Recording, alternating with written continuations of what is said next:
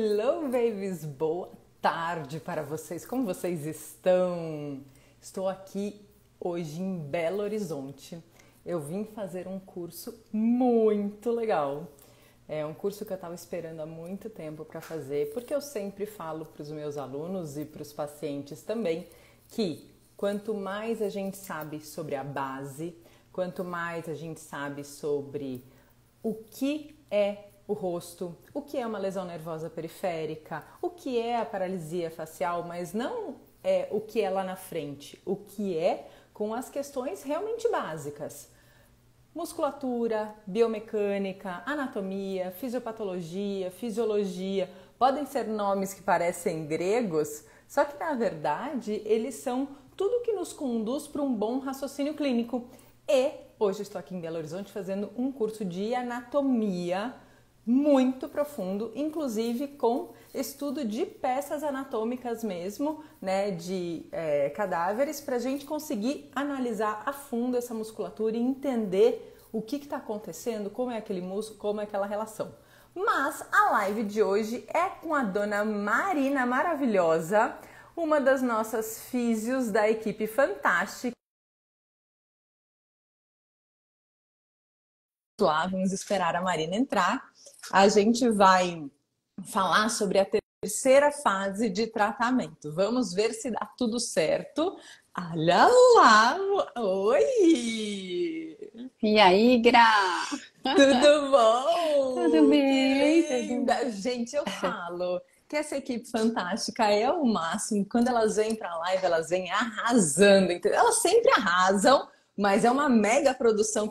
Eu preciso ir no cabeleireiro antes de vir pra live também, porque vocês vêm todas maravilhosamente arrumadas. Olha só, olha isso. Muito bem. É, eu queria que você se apresentasse né, para o pessoal. É, fala como que você entrou na equipe, né? Está aqui há muito tempo. Então, fala um pouquinho, se apresenta, por favor. Bom, vou falar, vou tentar falar o mais, o mais resumido possível, né? gostamos de conversar, gostamos de falar, né? É, na verdade, a minha história começou, eu sou formada há 20 anos, né? Tô fazendo esse ano 20 anos, meu Deus. Com essa carinha de 15, ah. sim, né? Formada há 20 anos. então, e minha história começou ali quando eu tinha 16 anos. Uhum. Com 16 uhum. anos, eu fui me apaixonando pela, pela neurologia, né? Por quê? Meu pai teve um AVC por uhum, conta de um aneurisma cerebral. Uhum. Você sabe, você uhum. seguiu tudo isso daí junto comigo, né? É, então, quando eu tinha 16 anos, eu fui conhecer o que era, né, uma reabilitação, uma equipe multiprofissional. Então, assim, ele participou, né, de um de um centro de reabilitação, né? Hoje em dia é o Luci Montoro. Ah né? Isso ah. há tempos atrás era chamado de DMR, na época que meu pai participou. Nossa, mesmo? Né?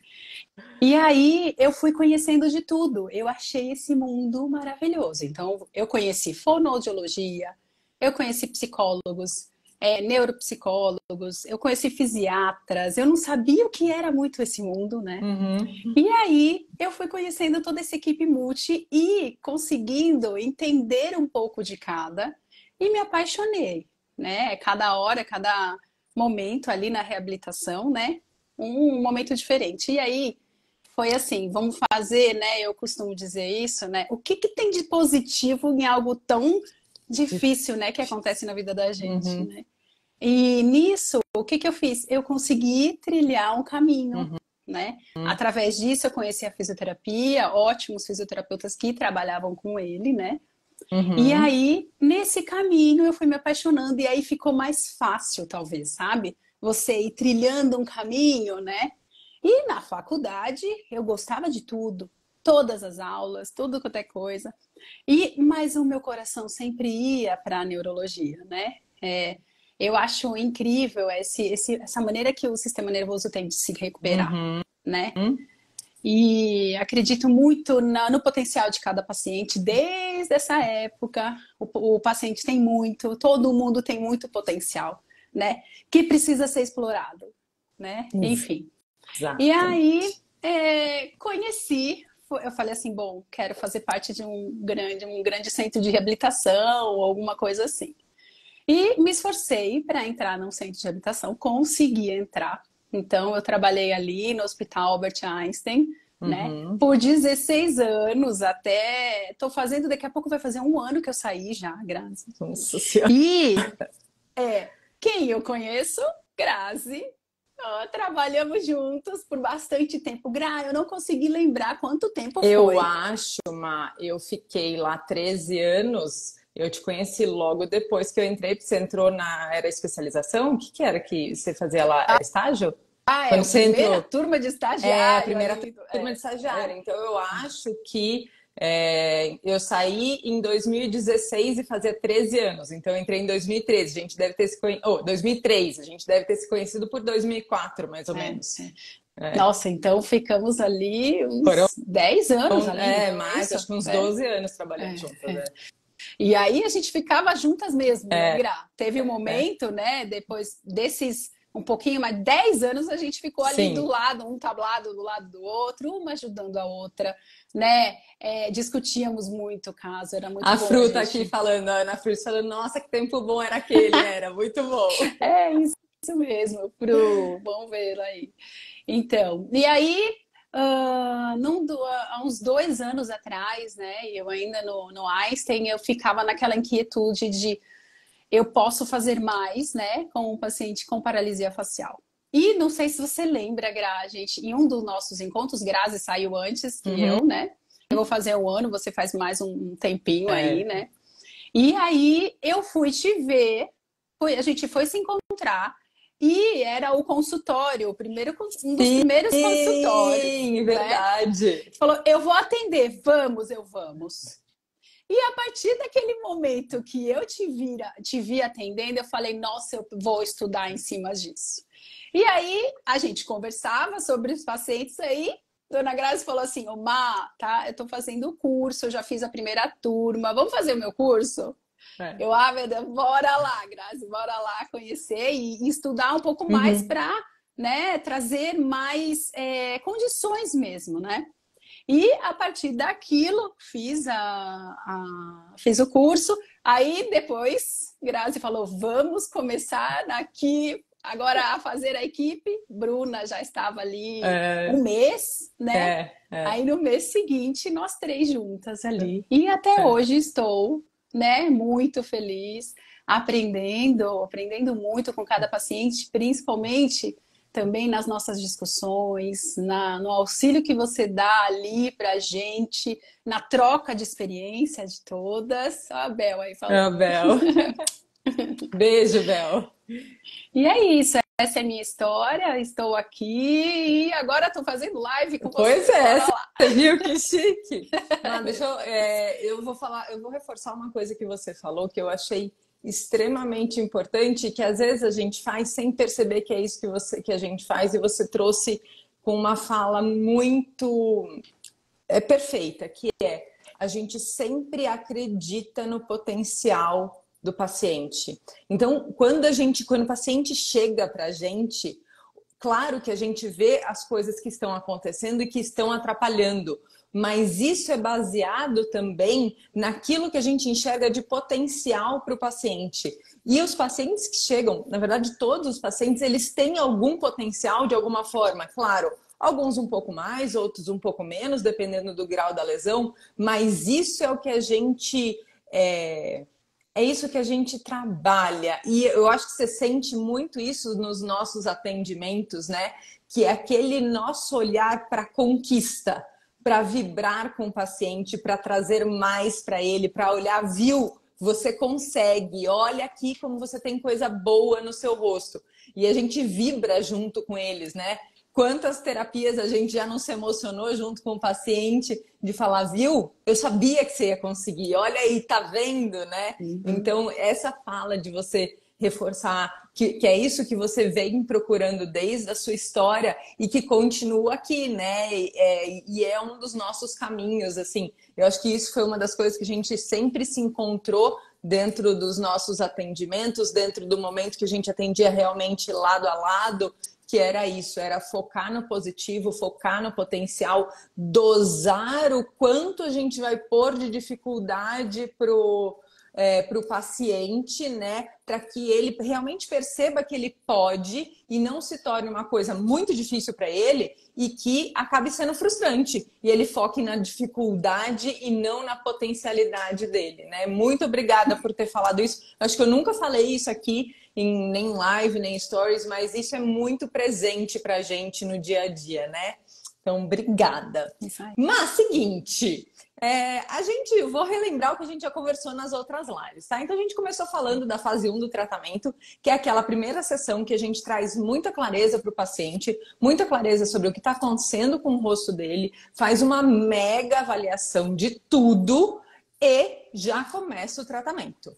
Então, é isso, gente, já na primeira sessão é a fase 1 do tratamento, que é a explicação, é a análise e fazer realmente o que ele precisa já para aquele momento. Na segunda fase, que é a fase de limpeza, que foi até a Bru que veio trazer para gente, é essa fase em que a gente limpa o rosto, mexe principalmente em estruturas superficiais e hoje no curso que eu estou fazendo de anatomia, a gente falou muito dos compartimentos mais superficiais e mais profundos. E é realmente isso, a gente mexe nos compartimentos mais superficiais. Pele, aquelas fáscias, começa a mexer um pouco em músculo, mas no sentido de liberar para que a gente consiga ver realmente o que está acontecendo aqui, ali naquele rosto, né? Porque o movimento em si, ele não depende somente da regeneração nervosa ele depende da permissão de outras estruturas. E se essas estruturas não estão adequadas, mesmo que tenha uma regeneração, a gente não consegue ver o movimento adequado. Só que isso tudo é preparação para essa fase que a gente vai falar agora, né? Que é a fase em que o paciente vai começar o aprendizado motor, em que ele vai conseguir direcionar um pouquinho, mas vai conseguir também mexer em outras coisas que estão com problema. E eu queria falar que você falasse um pouquinho sobre como que é, né, essa questão de trazer movimentos mais harmônicos, que são movimentos mais próximos do típico, né? Que a gente falava antigamente normal e agora a gente sabe que mudou um pouco a nômina, né? Que não é mais movimento normal, mas é movimento típico. Então, que a gente traz esses movimentos típicos, né? Tentar trazer eles para típicos e fala um pouquinho o que é esse movimento típico do rosto e quais são os outros tipos de movimento, por favor, Má. Tá. O pessoal entender é... um pouquinho mais. Bora lá. É, a gente fala muito do movimento automático, né? Uhum. O voluntário, que seria o típico, né? O, e o involuntário, que ele ficaria mais pro atípico, né? Uhum. Então, quando a gente fala de movimento automático, a face ela é completamente, você já falou, né, em outros outros momentos, a face é completamente diferente do nosso corpo, né? uhum. né? O nosso corpo ele vem ali de córtex, né, e na parte pré-central. Já a face, ela vem de um movimento, o automático dela vem através da emoção né? Uhum. Que fica em uma área completamente diferente, né? E aí, nessa área ali do hipotálamo, né? Uhum. Através da emoção, ali naquele local, é aos poucos passa por várias estruturas que a gente não precisa falar aqui agora, né? Uhum. É, e ela refina um pouquinho, havendo uma contração e um relaxamento, a uhum. ativação ou a inibição ali do movimento. Tá, esse é o automático. Que é o típico do, do, rosto. Que é o né? típico. Então, por, Isso, porque verdade. o rosto se, se movimenta de forma que é automática, que é assim, é aquela história da quando você vai aprender a dirigir, né? Quando você, você, não, você não, quando você sabe dirigir, você não pensa mais, é automaticamente que você faz. E a mesma coisa do rosto, né? A gente não pensa sobre os movimentos, né? Então, esse é o movimento típico do rosto, certo? Tá. E aí vem aquele movimento voluntário.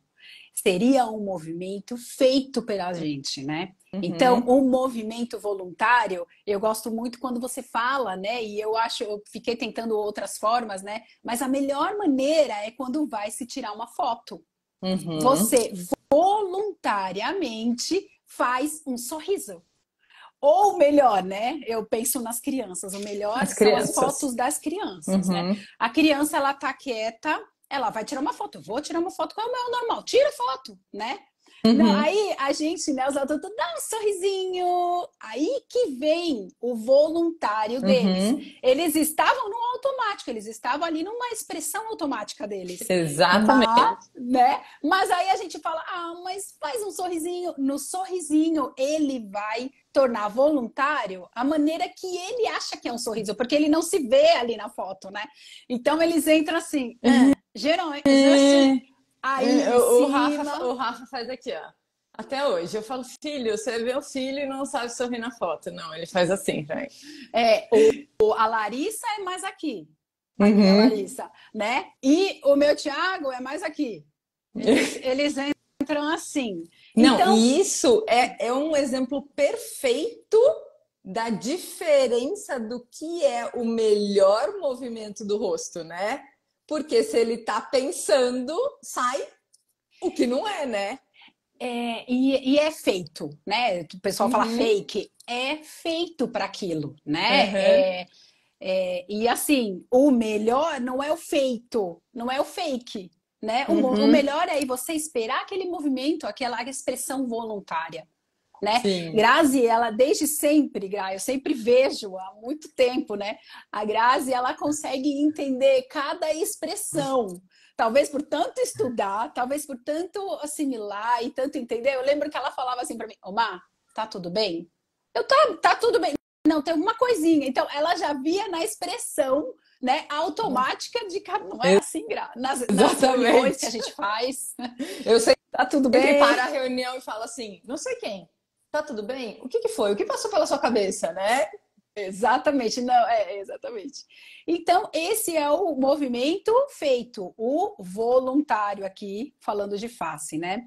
Já o movimento involuntário é aquele que você entra sem, sem querer ter este movimento. Vem aquelas vilãs que são as cinesias, uhum. que eu vou estar tá falando um pouquinho mais para frente. Mas o principal daqui é que a gente não precisa fazer, pensar em fazer aquele movimento. Uhum. Isso é bem legal a gente deixar aqui bem fixo, né? Que a gente não precisa pensar, a gente tem que deixar. Por isso, tanto que Grazi sempre enfatiza aquilo, uhum. aquilo que já tá, né? Várias pessoas já sabem, que é solte o sorriso, uhum. né? Fique leve. E eu até costumo falar, solta não só o sorriso, uhum. solta a sua cervical, solta o seu ombro, uhum. né? Deixa na postura mais uh, orientada, mais alinhada possível, né? Para a gente conseguir aqui o movimento ideal. É. Né? E assim, esse exemplo que você deu das crianças, ele eu acho que é muito fácil de entender, né? Então vamos pensar numa criança. Qual é a melhor foto que a gente tira das crianças? Quando elas estão brincando sem elas perceberem. Que é aquele sorriso que sai lindo, gostoso, que você coloca num quadro gigantesco na sala da sua casa, que é aquele sorriso leve, super bonito. E a criança está fazendo o automático, ela não está pensando. Na hora que a gente pede para ela pensar, ela vai fazer um movimento que não é o sorriso puro, não é o sorriso típico, é alguma outra coisa. E por mais que você pode falar, ah, mas é uma criança. Não, isso exemplifica o grau, o quanto o controle motor voluntário não é o melhor para realizar os movimentos do rosto. O melhor é aquele que a Marina falou, que é o automático. Você está sentindo, ou você nem sabe que você está sentindo ou pensando alguma coisa, mas o seu rosto expressa isso. E o movimento involuntário, ele é não pensado, mas diferente do que deveria ser, que é o automático. Então, o automático é o normal, o típico do rosto. O involuntário é uma contração que acontece sem você querer, mas que não faz parte do movimento normal.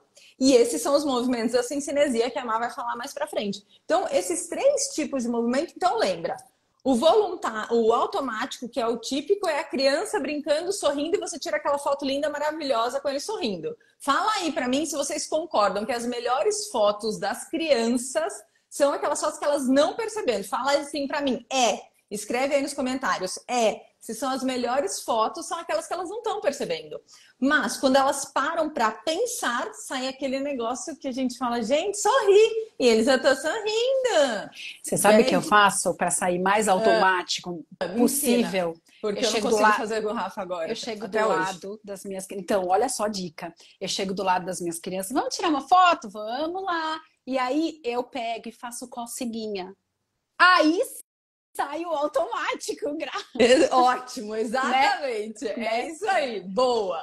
E o involuntário é um movimento que você também não pensou para fazer, que você não controla, mas que não faz parte do movimento automático, do movimento normal do rosto, tá? Então esses são os três tipos de movimento, né? Mas como que isso interfere no tratamento da paralisia facial, Má? Por quê? É muito óbvio para gente a gente pensar que se eu não tenho um movimento, eu preciso treinar esse movimento. Só que a gente está falando aqui que, por quê? Para treinar, né, eu preciso pensar. E aqui está tudo diferente. Como que é isso dentro do tratamento, Má? Tá. É, vamos lá, vou ver se eu, se eu, entendi um pouquinho a pergunta. Então, assim, é, no movimento, o movimento involuntário, ele tem muitas coisas que acontecem que acabam reforçando algo errado, algo uhum. ou, se você for ver, algo que é exacerbado, né? Uhum. O, o movimento voluntário ele fica exacerbado e aí ele acaba entrando ali é, com muita força, né? Uhum. Com movimentos que não são tão seletivos para aquela expressão, né? É aquela coisa fake, né? Agora você me, me faz a pergunta de novo, Gra. Você falou. que é assim. Quando a gente vai pensar, por exemplo, vamos pensar na fisioterapia normal, certo? Na fisio normal. Você perdeu um movimento, o que, que é óbvio dentro da nossa cabeça? Se eu perdi, eu preciso treinar para ganhar ele de volta. Vamos fortalecê-lo, seria Exatamente. isso? Exatamente. Uhum. Fortalecer, uhum. repetir e tudo mais. Uhum. Uhum. Isso entra dentro do tratamento da paralisia facial? Não, então. É é, é aí que tem a diferença da, da, da face, né? Uhum. Então, se a gente não tem um movimento por um distúrbio, né, central, né, um AVC ou alguma coisa que ele tem uma falta de força, ele tem uma, é, aí, se o diagnóstico for a força, a gente vai treinar a força. Na paralisia facial, principalmente quando a gente está nessa fase, a gente sabe que existe a ligação. Uhum né? Uhum. Existe um movimento acontecendo. Então, é aquilo, né, do, do fio, né? Que uhum. tá, né, que a gente acaba, vamos por um exemplo aqui, o fio da, do interruptor, né, que a gente sempre fala, né, Gra? E vai até a lâmpada. Então, o fio, ele desencapou, ele machucou. Quanto que ele machucou, a gente não sabe. A gente uhum. vai ver conforme é, o tempo, conforme o grau da lesão, né? Uhum. É, e aí, durante é, na paralisia facial, a gente então tem nessa fase, né, que a gente está agora, a gente tem já as conexões feitas. Uhum.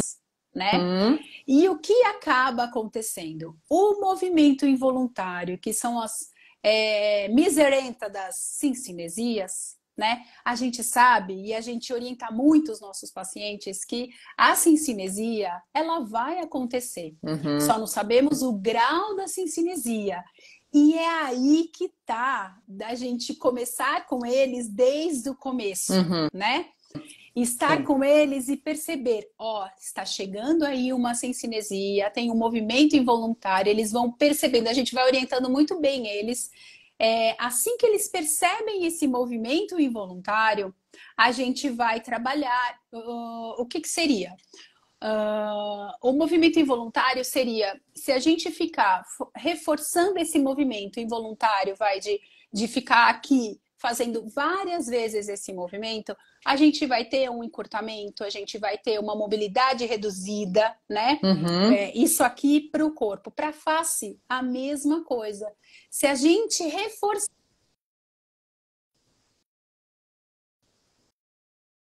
Oi, voltou. Voltou. Voltou. Se a gente reforçar esse movimento involuntário, que são as cinesias, a gente vai diminuir mobilidade daquele local.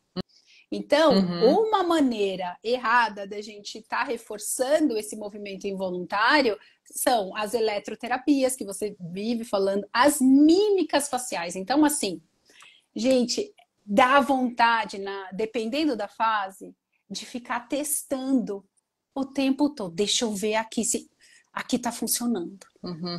Peraí. Aí você vai no espelho, aí você tá dirigindo, você vai no carro, aí você vai na, no, no vidro que tem o seu reflexo. Então você fica ali reforçando aquele movimento involuntário. A mímica, né? Que é. E aí o que acontece, né, Gra? Vai haver Exatamente. né? Exatamente. E aí, nessa contratura, depois de um tempo, nessa contratura, a gente não consegue ter liberdade, então a gente tem um fiozinho aqui, né? A gente não consegue ter essa liberdade e a gente precisa ter essa liberdade para movimentar aqui o sorriso ou conseguir trazer no movimento ao contrário do assobio.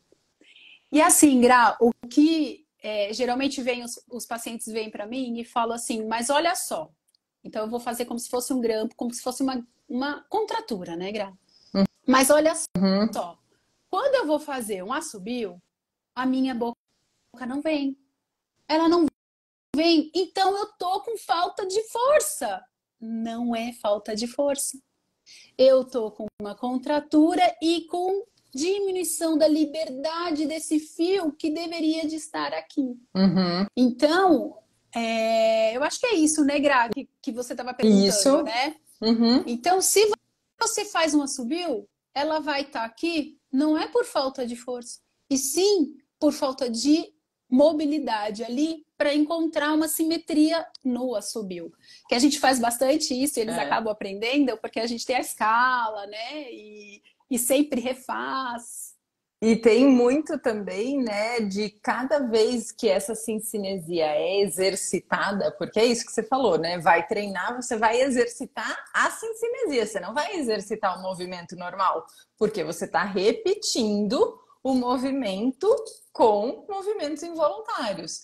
O que acaba acontecendo lá dentro, né? O movimento começa a ser aprendido errado. E aí a gente precisa fazer com que esse músculo desaprenda a contrair a qualquer momento, né? E aí entra no nosso tratamento a parte de ganho de um novo aprendizado motor, né, Ma? Que é um dos principais fatores, assim, para a gente é, trazer esse ganho de controle. E, de novo, falando que controle não é apertar, né, mas é, é ter um controle sobre aquela contração das cincinesias, né? Então, me fala um pouquinho sobre o aprendizado motor, então. Tá. Bora lá. Então, para a gente ter o um aprendizado motor, na face não vai ficar muito diferente assim em relação a, ao nosso aprendizado motor como, como um todo, né? Então, a gente tem aí, uh, primeiro a gente tem que ter muito foco, muito uhum. atenção no movimento, né? Tem aquela, aquele gráficozinho, né, Gra? É, eu trouxe algumas coisinhas aqui para fazer que eu não me aguento, mas. Enfim, é, mas eu acho que eu não vou conseguir agora, porque eu não sei onde foi parar a minha folhinha. Ah, não acredito. Tudo bem. Mas é assim: temos um gráfico aonde. Ah, peraí. Temos um gráfico aonde a gente tem um, um maior grau de atenção. Eu amo os, os desenhos, amo. Eu acho, eu acho bem interessante também. Então temos uma, uma área, né? Deixa eu ver aqui. Deu? Ah, Deu. muito.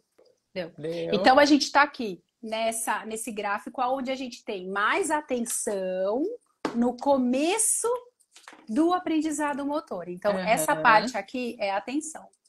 E aos poucos ela vai diminuindo. Será que dá para entender? Uhum. Aos poucos ela vai diminuindo. Então, aqui no começo você precisa de mais atenção. Atenção, gente, é atenção Ai, mesmo, de prestar atenção, de perceber. É isso, é atenção, tá? Não é tensão, é atenção, tá? Atenção de como fazer aquele movimento uhum. com a gente orientando.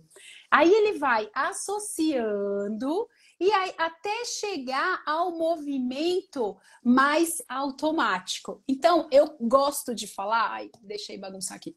Eu gosto de falar também da do dirigir o carro. Uhum. Eu acho que é um uhum. ótimo exemplo. Então, no começo, a gente precisa daquele foco total, né? A gente precisa, você, como que você tá aprendendo? Nunca vi aquilo. Vou mexer no pé esquerdo, depois no pé direito, eu mexo na embreagem, depois eu acelero, eu ainda tenho que mexer no câmbio e olhar para frente, atenção para o lado. Não fa andar, é fala muito... comigo, é. não fala comigo.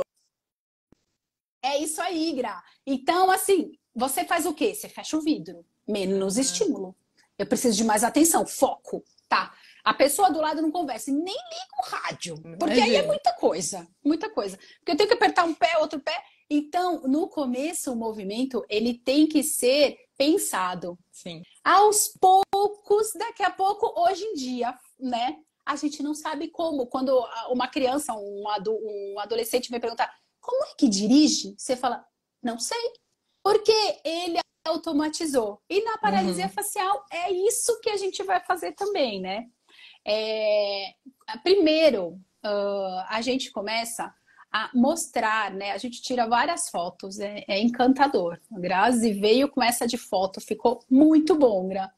Porque a gente, você já deve ter visto, né? A gente tira várias fotos durante o atendimento. É uma, duas, uma no início e no final, com certeza, né? Uhum. Dos nossos objetivos uhum. ali traçados. Aí a gente tira a primeira foto e aí, nesse momento que eu vou trabalhar o controle, eu vou mostrar para ela, tá vendo aqui? Você sentiu que aqui movimentou junto? Às vezes ela fala que sim. E as, a maioria das vezes no começo ela não sentiu, uhum. né, Grau? Uhum. Eu não tô sentindo isso. Tá, tudo bem. Então agora vamos perceber. A gente começa a mostrar por foto e também por percepção de que aquele movimento errado está acontecendo, uhum. né? Aí é muito mágico consegui perceber, ah, eu vi sim, tá mexendo um pouquinho aqui. Então, é aqui que a gente tem que perceber o movimento e é aqui que a gente vai relaxar durante a expressão tal que a gente está trabalhando. Então, é fácil a contração, né? uhum, né? Sim. O difícil é como é que eu relaxo esse trem aqui, né? Uhum. Exatamente. É isso, Graça. Não, o que é mais que a gente pode isso. falar? Não, uhum. é isso mesmo, né? Porque assim, é, muitas vezes o pessoal vem para mim e fala assim: ah, mas eu tô massageando, a fisio tá fazendo massagem e a cincinesia não está melhorando. E não vai melhorar só com massagem. Porque é que nem a Má falou, tem a primeira parte de você soltar aquela linha e tudo mais, mas a segunda parte do tratamento, né, é você realmente aprender a ter controle sobre esse movimento voluntário. Ou seja, eu não quero que você contraia agora.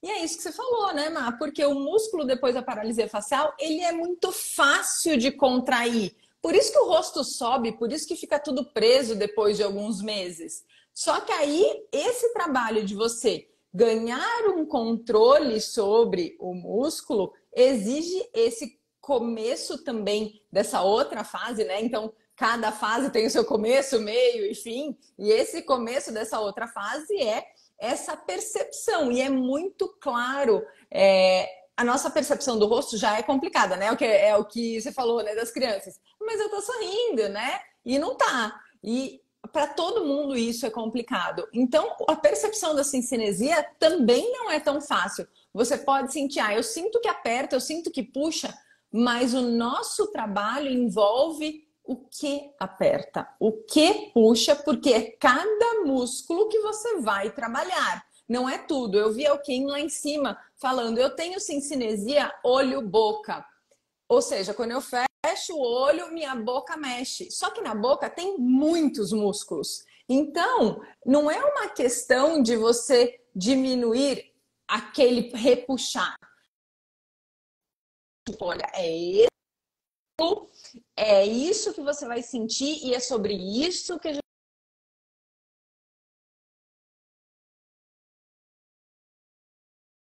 interferir no movimento né? Então, é isso que você falou, Mar, é fundamental, realmente. Se o paciente não percebe aquela sincinesia que a gente está trabalhando,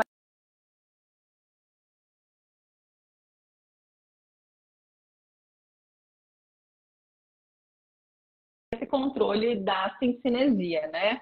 Muito bem, amei a sua explicação, Mar, amei.